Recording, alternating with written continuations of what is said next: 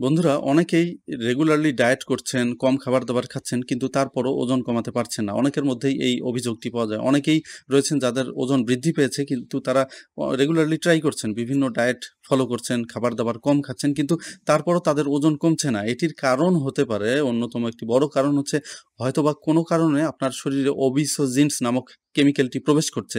তো ওবিসোজিনস কেমিক্যাল হচ্ছে বিশেষ রকমের কেমিক্যাল যেগুলো বিভিন্নভাবে বিভিন্ন খেলনা দ্রব্য, বিভিন্ন রান্নার তৈজসপত্র অথবা বিভিন্ন কেমিক্যালের মাধ্যমে আমাদের শরীরে যেমন ডিটারজেন্ট এগুলোর মাধ্যমে আমাদের শরীরে প্রবেশ করে এবং আমাদের শরীরে থাকা যেই ভালো ব্যাকটেরিয়াগুলো আমাদের শরীরের মধ্যে বিভিন্ন ফ্যাট সেলকে শোষণ করতে সহায়তা করে। এর মাধ্যমে আমাদের ওজন নিয়ন্ত্রণে থাকে।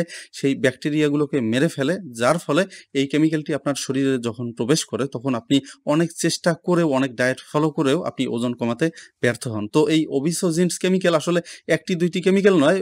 লক্ষ্য করা গিয়েছে মানুষের শরীরে প্রায় ৫০ টিরও বেশি ওবিসোজিনস কেমিক্যাল প্রবেশ করতে পারে এবং এই ওবিসোজিনস কেমিক্যাল প্রবেশ করলে শুধুমাত্র আপনার ওজনই বৃদ্ধি করবে না, এর পাশাপাশি ডায়াবেটিস, আপনার হার্ট ডিজিজ এবং উচ্চ রক্তচাপের মতো সমস্যাও সৃষ্টি করবে। তো ৫০ টিরও বেশি জিন্সের মধ্যে ৫ টি জিন্স রয়েছে যেটি বেশি মাত্রায় ক্ষতি করে মানুষের শরীরে প্রবেশ করার মাধ্যমে। সেই ৫ টি কেমিক্যাল সম্পর্কে আজকে আলোচনা করব এবং কীভাবে এই কেমিক্যালগুলো আমাদের শরীরে প্রবেশ করতে পারে সেটি নিয়েও আজকে আলোচনা করব। তো এক নম্বর হচ্ছে বিপিএ।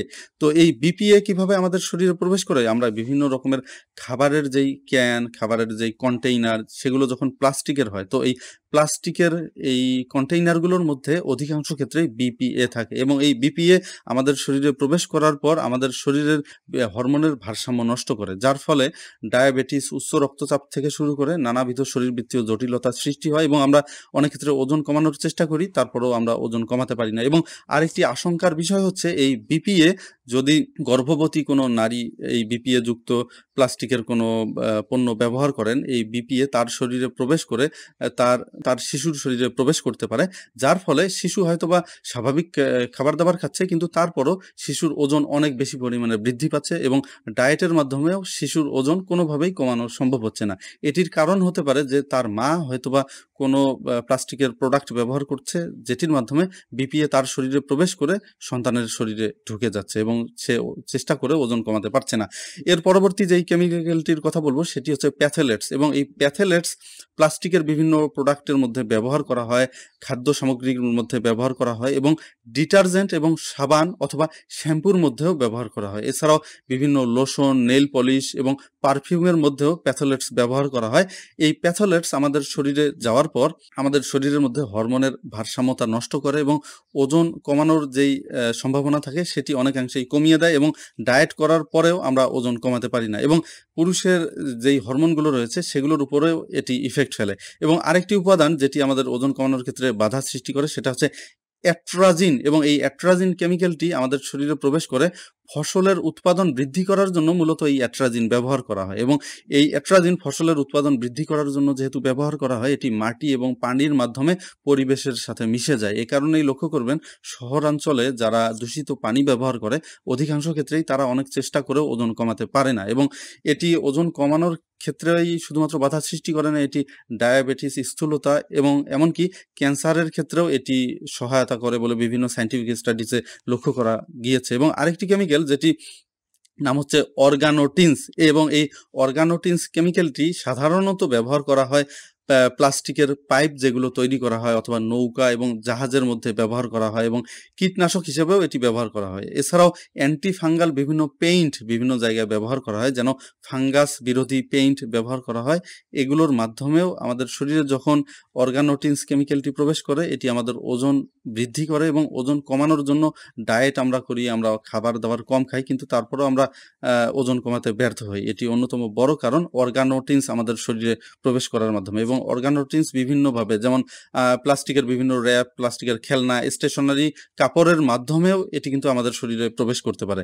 এর পরবর্তী যেই কেমিক্যালটির কথা বলব সেটি হচ্ছে পিএফওএ তো এই পিএফওএ সাধারণত আমাদের শরীরে প্রবেশ করে বিভিন্ন নন স্টিক রান্নার সামগ্রী যেগুলো ব্যবহার করা হয়, সেগুলোর মধ্যে পিএফওএ ব্যবহার করা হয় এবং বিভিন্ন পরিষ্কারক পণ্য এবং দাগ প্রতিরোধক যেই প্রোডাক্টগুলো রয়েছে, যেমন আপনার রেইনকোটের যেই কাপড়টি ব্যবহার করা হয় অথবা ছাতার মধ্যে যেই কাপড়টি ব্যবহার করা হয়, সেই কাপড়গুলো যদি আপনি পোশাক আশাক ব্যবহার পোশাক আশাকের মধ্যে তৈরি করার ক্ষেত্রে ব্যবহার করেন এবং আপনার শরীরের সংস্পর্শে আসে, তাহলে সেটির মাধ্যমে আপনার শরীরের মধ্যে কিন্তু পিএফওএ প্রবেশ করবে এবং এই পিএফওএ তার শরীরে প্রবেশ করার পর কিন্তু ওজন বৃদ্ধি করতে থাকবে এবং আপনি ওজন কমানোর জন্য অনেক ডায়েট করবেন, ওজন কমাতে ব্যর্থ হবেন এবং আরেকটি ইন্টারেস্টিং বিষয় হচ্ছে আমরা প্রথমেই যেই কেমিক্যালটির কথা বলেছি বিপিএ এই বিপিএ অধিকাংশ ক্ষেত্রেই রান্নার সামগ্রীতে ব্যবহার করা হয় এবং বিপিএ সাধারণত আপনি যদি ঠান্ডা খাবার দাবার সেখানে সংরক্ষণ করে বিপিএ যুক্ত প্লাস্টিকের পণ্যের মধ্যে খেতে খান, সেক্ষেত্রে তুলনামূলকভাবে কম ক্ষতি হবে।